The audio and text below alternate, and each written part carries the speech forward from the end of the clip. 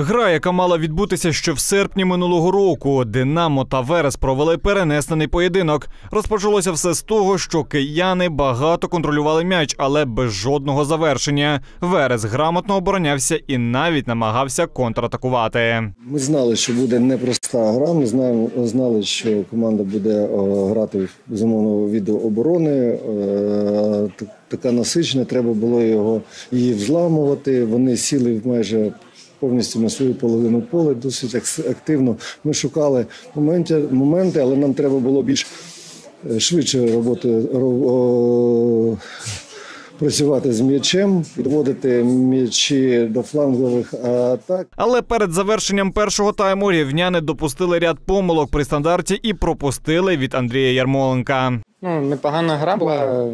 Ми всі розуміємо, що Динамо – це лідер нашого чемпіонату.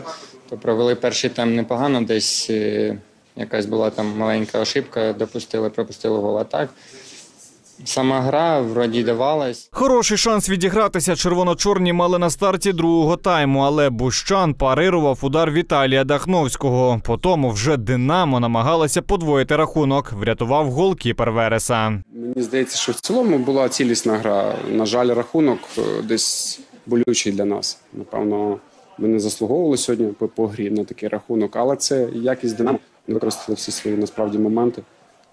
Ну, На мою думку. На мою думку.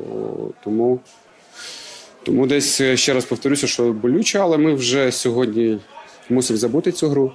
У нас важливі ігри попереду, вирішальні ігри попереду. А наприкінці гри Верес ризикнув, почав розкриватися і пропустив ще двічі. Верес залишився 14-тим і готується до понеділкового лобового матчу за виживання в УПЛ проти Минаю. Ілля Томашевський, новини Рівного.